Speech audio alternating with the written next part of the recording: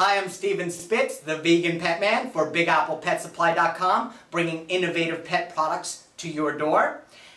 And today, I'm going to show you our new Perfect Temp infrared laser thermometer. This is a really cool device. Of course, we use this a lot in the pet industry to check on our temperatures in exotic animal enclosures, particularly reptile and amphibian enclosures, but it could be used in other places too. Zoos use this kind of device. It can also be used to check the soil samples if you're into uh, seedling plants. It can be used in uh, the remote control vehicle hobby. It can also be used in the air conditioning and heating industry. So there's a lot of uses for a remote thermometer like this that's infrared. Now, I want to show you how we're going to use it in a reptile enclosure because that's mostly in this industry what we use it for. It's most important that you check your heating and your cool side. So your hot side and your cool side. Specifically when you have a thermometer just kind of laying on the wall and laying on the cool wall, it doesn't quite tell you the whole picture because you really want to know what your basking temperatures are. And the only way to do that is to really see your reptile. If we had a reptile perched here and we had a ceramic emitter above, we would really see what's going on on the animal itself. So you can take the infrared thermometer, which actually has a laser, and put it right on the scales of the animal as they're basking and you're going to get the actual readout on the screen here, and it's going to tell you what is the reptile getting when they're in the hot side.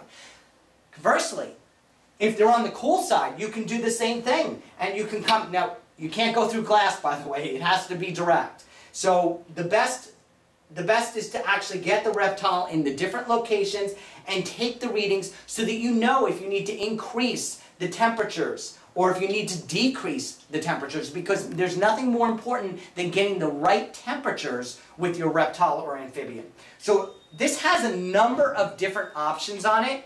We've got a, uh, there's, a, there's a mode button here and of course you can go from Celsius to Fahrenheit. You can actually have a low mode which will just take the lowest reading as you read. It will keep the lowest reading there's a high mode, which will keep the highest reading, and that's really, really useful. But there's also another reading here, which is the lock mode. And the lock mode will allow you to stay, once you get the lock mode, it will allow you to keep it continual measurement.